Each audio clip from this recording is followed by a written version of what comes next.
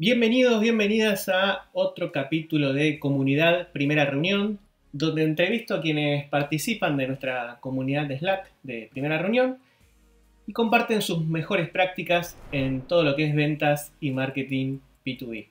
Si te interesa formar parte de la comunidad, es muy simple. Eh, podés ir a www.primerareunión.com y hay un botón que dice comunidad de Slack y de paso ves en el sitio todo el contenido eh, que hay, o más fácil, en la descripción del video te dejo un link para unirte. También eh, recordá que si este tipo de contenido te gusta, podés suscribirte al canal de YouTube apretando el botón de suscribir y la campanita. Bueno, espero que disfrutes esta entrevista.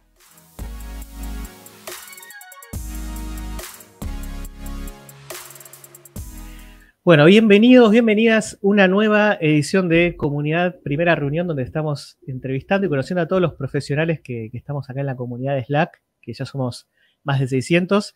Y hoy tengo eh, el lujo de charlar con alguien que participa bastante de, las conversaciones, que es Carolina Mendiondo. Caro es la eh, Global Business Development de Emilabs. Bienvenida, Caro, preparada para tu primera reunión.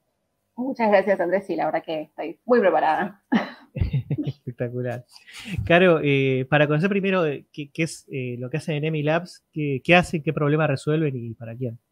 Bien, puntualmente lo que nosotros hacemos en EMI Labs, la misión principal de, la empresa es aumentar el acceso a oportunidades profesionales para todo lo que es los, las personas, los trabajadores de primera línea.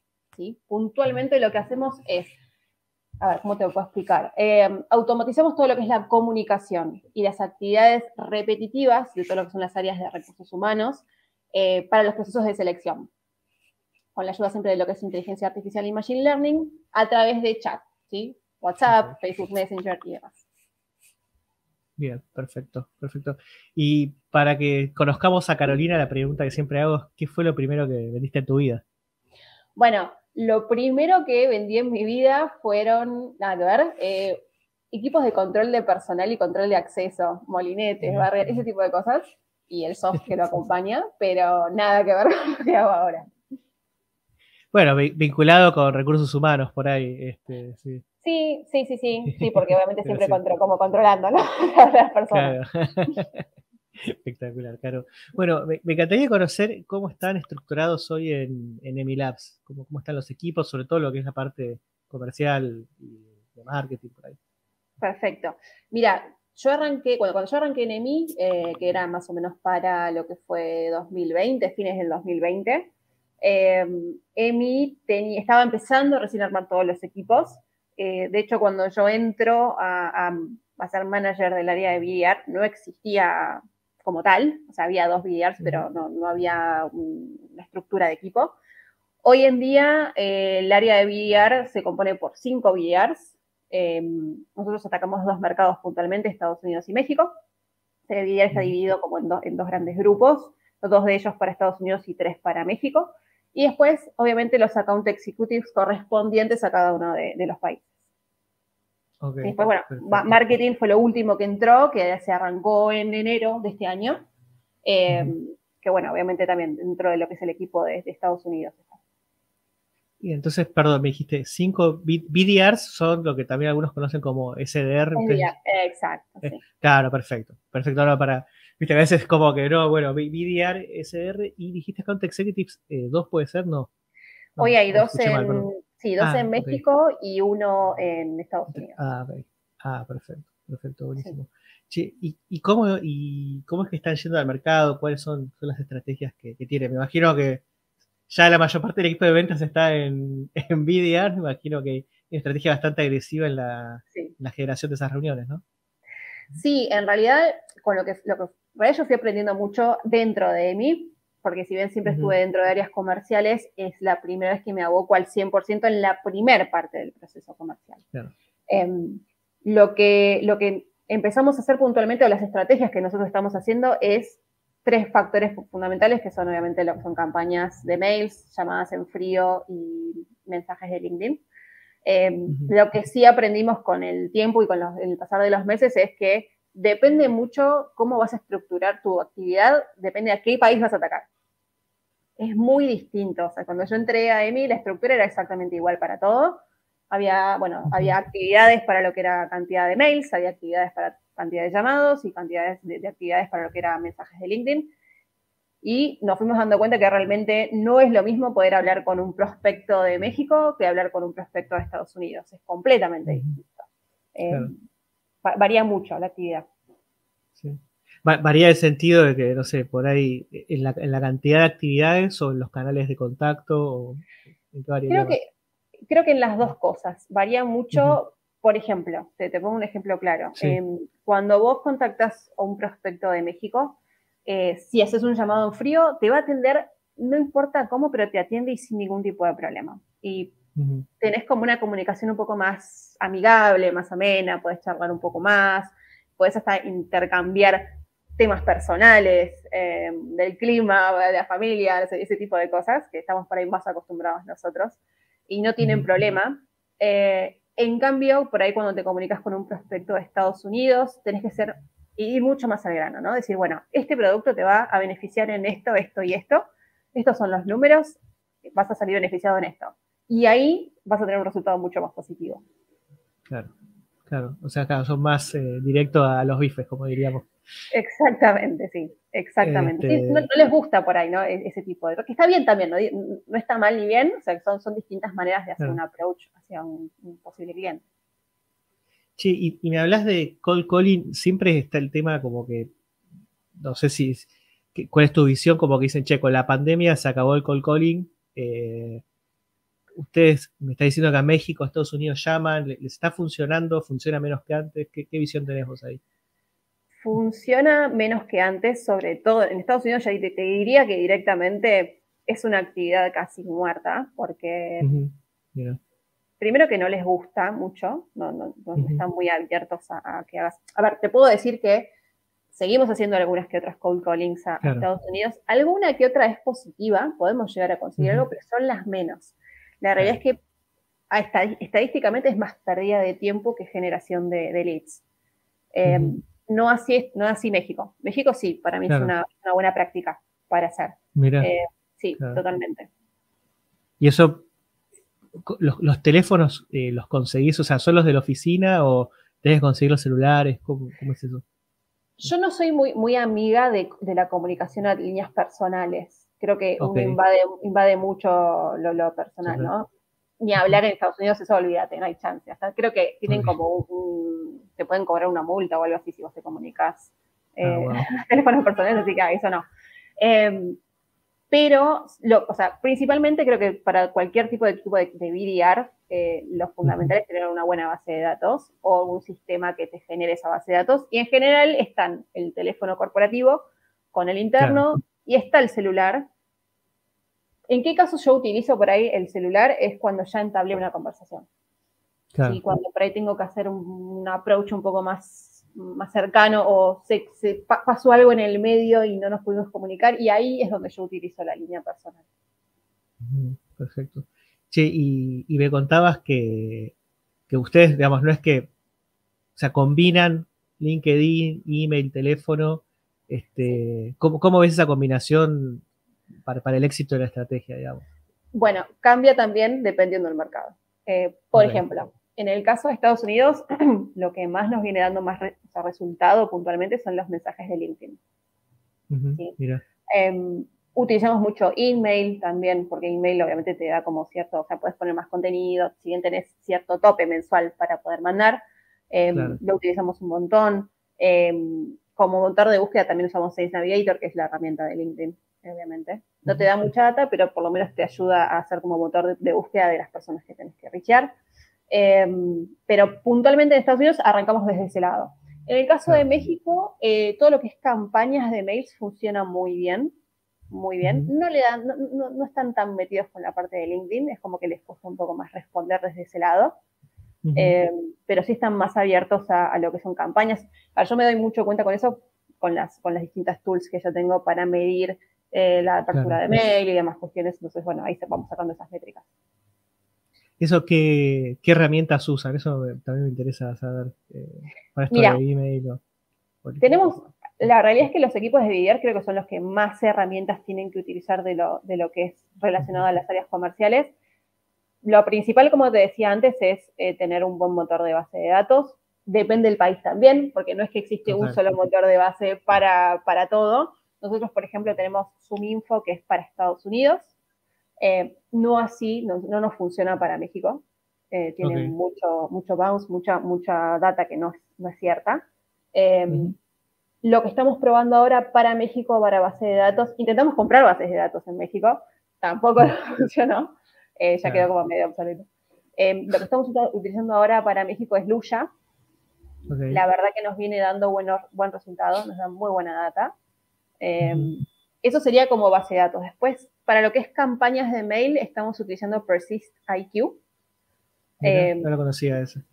Es, antes usábamos Active Campaign, que también es, No es, no es de las mejores, eh, no es de las mejores, pero resuelve, eh, resuelve. Te, sirve para, para, poder hacer campañas con varios steps y, poder meter ahí un poco de coordinación dentro del área. Está bueno, te aparte te da la data importante que es cuántos bounds tuviste, cuántos replies, bueno, y demás cuestiones. Está, es bastante interesante, te deja armar las campañas bien.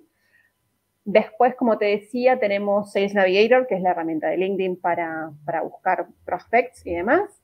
Eh, y después, cosas que quedan por detrás, que a veces los equipos o los managers de BDR no los tienen en cuenta y que son fundamentales, que son, por ejemplo, herramientas como Mailworm. Eh, Mailworm es fundamental para lo que es que, todos tus mails y las campañas de tu equipo no entren en spam. Claro. Exactamente. Eh, Mailworm, contá para los que no saben, claro, qué, es lo que hacen esas herramientas.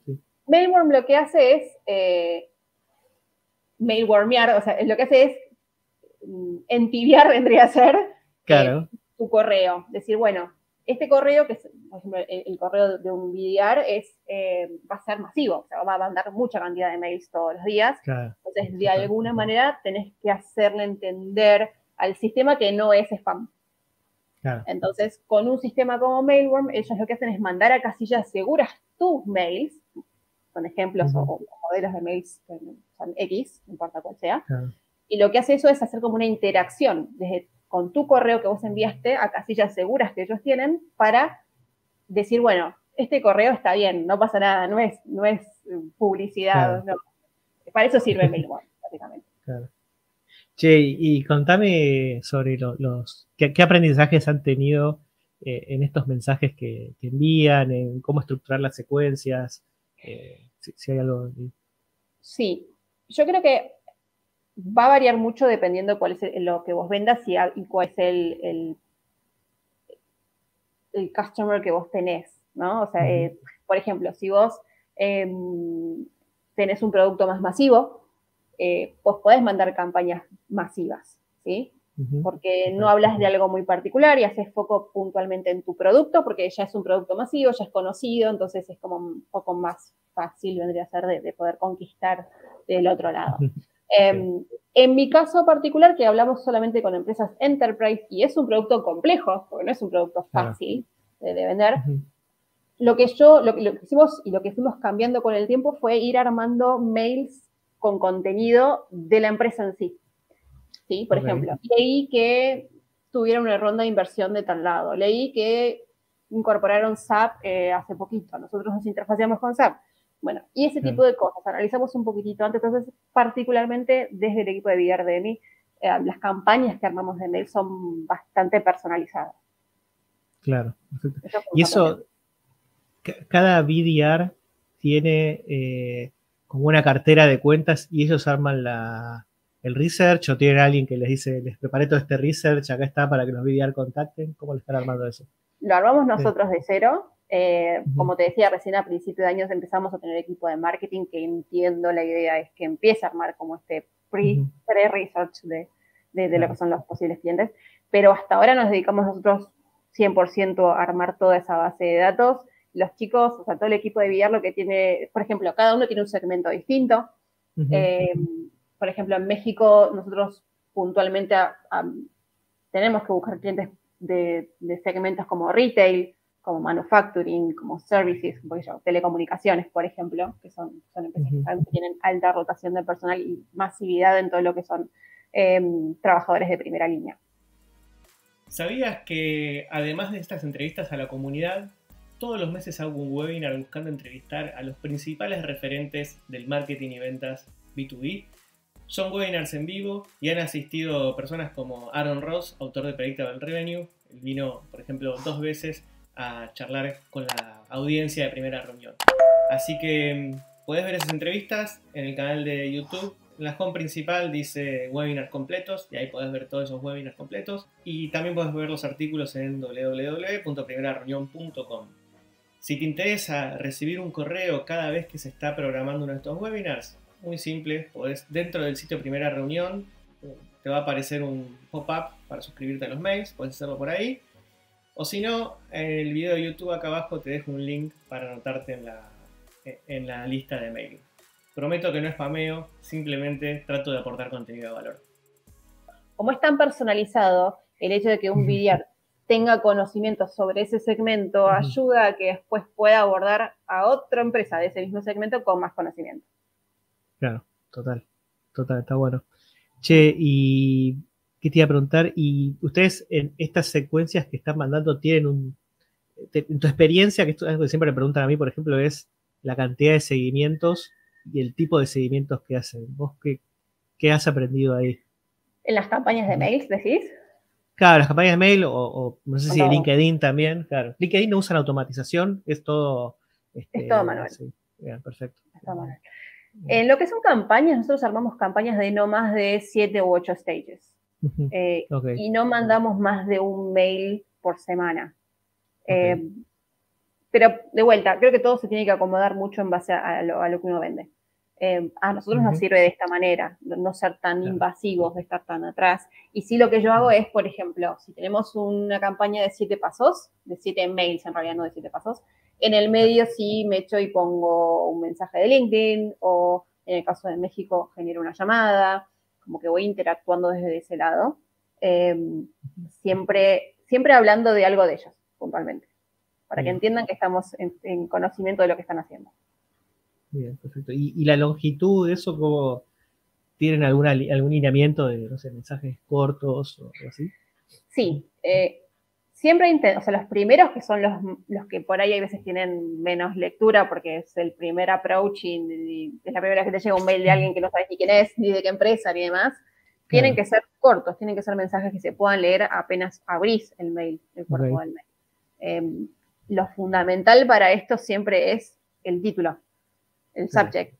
Eso es lo que más te va a hacer abrir un mail. Después, obviamente, el contenido tiene que acompañar y tiene que ser corto, conciso y al pie. Nada de tener que scrollear para abajo para poder terminar de leer el mail, que no tenga mucho contenido de links y demás, que tenga lo básico. Em, creo que esos son, son por ahí cosas que hay que tener en cuenta. Bien, perfecto. Che, y ahí te iba a preguntar algo más, eh, se acaba de ir, pero eh, con, con, el tema de, de, de, las secuencias, sobre todo cuando estás en, en, LinkedIn, que por ahí es difícil, si no tienes una herramienta de automatización, ¿Usan algún CRM para estructurar esa, cadena de secuencias? Nosotros tenemos todo, todo está metido dentro de Salesforce. aunque, sea, aunque sea ingreso manual, ah, que es lo que uno más tiene que lidiar a veces con los, con los equipos de BDRs, porque la realidad es que mucho tiempo de ellos el hecho de estar. A ver, tenés herramientas que están automatizadas y que están parametrizadas con Salesforce y ahí no tenés problema. Como te decía antes, por ahí, IQ y Suminfo, Luya, son herramientas que ya tienen parametrización con Salesforce, entonces ya te genera una lead directamente dentro, dentro de Salesforce. Pero, por ejemplo, LinkedIn, a no ser que tengas el usuario de Sales Navigator, Sales Navigator del Teams, si no tenés eso, que sale muy caro, eh, no te automatiza nada. Entonces, toda la carga es manual. Claro. Sí, sí, sí, eh, total y es, gran, o lo que más le cuesta, la realidad es lo que más le cuesta a los equipos de, de es el, ¿no? el trabajo así de, estar ingresando data, pero todo, todo, todo va dentro de Salesforce. Todo. ¿Vos, tenés como un coso de, tipo, de controlar los touch points que, se hicieron, o, eso también te pregunto si lo estructuras también en CRM, o sea, ¿cómo haces para hacer, para que también para el ejecutivo vea esto? Che, me faltan tantos touch points, ¿cómo me organizo? ¿Qué arranco hoy? Mira, como todo va, toda la data va, a Salesforce, lo que yo me hago es me genero dashboards de, actividad puntualmente. Yo tengo cuatro actividades puntuales que son generación de leads, generación de, campañas de mails, o en realidad generación de mails, llamadas en frío y contactos por LinkedIn. Okay. Esas son como las cuatro métricas fundamentales para el equipo de billar y después, como te decía, dependiendo del producto y a, qué tipo de cliente te vas a abocar, es la cantidad. Claro. Hoy puntualmente, Si, vos me tenés que, si yo te, no sé, me preguntas a mí qué cantidad o qué número, y vos vas a ver que mi equipo puntualmente tiene actividades bajas, porque en realidad tarda mucho más en generar una campaña por toda la investigación previa que hay que hacer. Total, total, sí, sí, tal cual. Eh, como vos decías, cuando tenés pocas balas hay que saber usarlas. Exactamente. Vos pensás que en México, por ejemplo, todo México, puedo llegar a tener una cartera de 400 empresas. Claro, no. Es poco. Es poco. Entonces, cada vez que tengo que salir a buscar a, un, a, un, cliente nuevo, a un prospecto nuevo, tengo que ir con información justa y certera porque lo llevo a perder y es un montón. Claro. Sí, total, total. Che, bueno, y ya justo me, hablaste de métricas, me gustaría saber vos como, como líder de Business Development, qué, son las métricas más importantes para vos. Bueno, nosotros siempre medimos, el, o sea, obviamente hay una parte que es el resultado, pero previo a eso medimos todo lo que son actividades, como te decía, eh, cantidad de mails, cantidad de llamadas y cantidad de, generación de leads eh, y contactos por LinkedIn. Y después tenemos como dos stages fundamentales para llegar al objetivo. El nombre, la realidad es que eh, no es relevante porque cada empresa tiene sus nomenclaturas y demás. Nosotros tenemos eh, MQO y SQO, eh, Marketing Qualified Opportunity y Sales Qualified Opportunity. Son las dos que utilizamos nosotros. MQO, o sea, el stage de MQO, para no hablar puntualmente del nombre en sí, es cuando tenemos una respuesta de un cliente. Ok. ¿Sí? Entonces tenemos una respuesta y eso ya es un lead calificado que está en contacto con nosotros. Okay. Esa es la primera instancia. Después de esa instancia tenemos una primera reunión, vendría a ser que es, cortita, no dura más de 15 a 20 minutos, porque tampoco hay que avasallar mucho. Entonces, dura poquito. Eh, donde lo que vemos puntualmente es el tema del band. Okay. Si, hay, una necesidad, si hay presupuesto, si realmente estamos hablando con una persona que puede ser un decision maker para futuro. Y una vez que hacemos esa primera reunión y es fructífera, organizamos una segunda reunión para hacer el pase formal con el área de sales propiamente dicho de la account Y cuando hacemos eso, que también es otra reunión un poquitito más larga porque ya se habla un poco más del producto y demás, eh, es cuando se valida esa MQO, pasa a ser una SQO, que es, ya pasa para el lado de sales, directamente para el account executive, lo, empieza a liderar. Eso es lo que cuenta y vos el objetivo del BDR todos los meses. Eso, y vos si podés compartir eh, la, tasa de SQO a cierre, la, Teresa ahí, si se la puede compartir, a veces no se puede y está todo bien. Hay, un, porcentaje que está en todos lados que cuando uno investiga en general de mercado, ¿no? que es alrededor del 20%. ¿sí? Esa es una tasa que está, es de público conocimiento, así que no, no, no es un dato mío. Em, es el 20% en general. De SQO a lo que es cierre de venta, en general es, un 20%. Después, obviamente, va a variar mucho de, la complejidad, como te decía antes, ¿no? De la complejidad del proceso. Puntualmente, nosotros que solamente hablamos con empresas enterprise, los procesos de contratación son largos, son complejos. Em, eso te iba a preguntar, el, ciclo de ventas y de cuánto es desde, el SQO a... Entre cuatro, seis meses, un poquito más. Sí, sí. Es largo. Sí, sí, sí, es largo. Sí, no, no, te terminás viendo. sí, sí, es eterno. Sí, porque de vuelta, es más, por ahí vos seguramente habrás hablado con, otros managers de, áreas de VR y demás, y, habrás visto que quizá los resultados de cantidad de, de SQOs son más altos. En mi caso, puntualmente, cada VR tiene que llegar a entre 2 y 3 SQOs por mes. Que vos decís, es recontra poco. Pero de vuelta, va a variar mucho, porque en general siempre son 5, 6, 10 en algunos casos. Eh, sí, sí, sí. Puntualmente en nuestro caso es como es tan tan preciso y llegar a una instancia de SQO es súper complejo eh, y lleva mucho tiempo, entonces bajan las, cantidades. Claro. No, no, y aparte ustedes tienen un, un, paso que es el de, de llegar al SQO desde el lado del SDR. En muchos casos, viste, esa estructura de acepto la reunión y yo ya ahí lo paso con el, claro.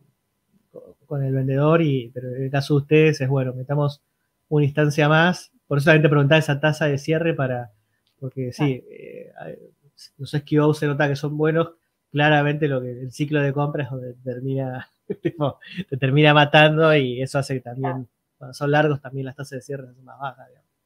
Sí, aparte nosotros tenemos son contratos anuales, o sea, claro, ah, cosas que, hay que ver, ¿no? De vuelta, trabajamos con empresas como Burger King, por ejemplo, 7-Eleven, CMX, son todas en Walmart, son todas empresas muy grandes que son, son burocráticos, es la realidad.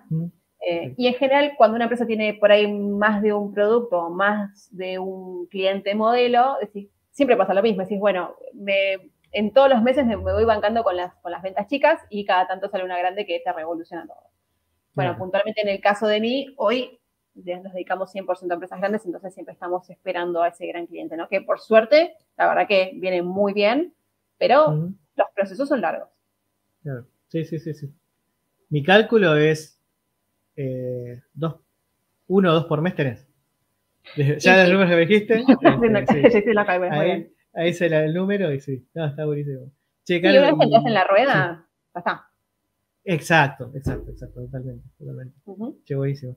Che, eh, contame, Caro, eh, tus libros eh, o podcasts que, más escuches y te gustaría recomendar.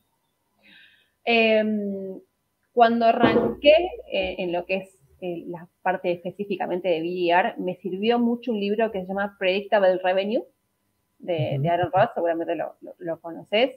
Eh, habla mucho sobre todo de lo que es canales de outbound, eh, puntualmente, que es a lo que yo me estoy dedicando ahora, eh, de cómo estructurarlos, de qué cosas ver, de qué actividades analizar, cómo armar el equipo, o sea, está, desde ese lado está súper, súper bueno. Y después hay otro libro que está muy bueno, que es más relacionado por ahí a management, que es súper, súper interesante, que se llama eh, High Output Management de ah, Andrew Grove, eh, uno de los, de Intel. Eh, muy bueno. Me, leí hace poco The Hard Things About Hard Things, que me lo recomendaron acá en una entrevista y siempre hace referencia a ese libro. mucha referencia a High Output Management. ¿Viste? la verdad que es muy bueno. Léelo, léelo porque está súper interesante. Y después como personalidades que yo sigo, por ejemplo, en LinkedIn y demás, eh, bueno, Tito Bort, obviamente. Es un genio. Eh, me encanta. Me encantan las cosas que pone, como lo disruptivo que es, cómo habla. Eh, y nada, me gusta mucho cómo, cómo habla el tema de que, bueno, que el equipo de VR siempre está fluctuando entre marketing y sales y como que, ¿no? Como que es muy interesante eso. buenísimo.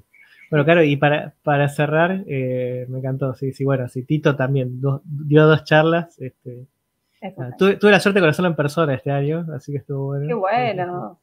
Así que estuve charlando, sí. Che, eh, para ir cerrando, algo que sepas ahora que te, hubiese gustado saber.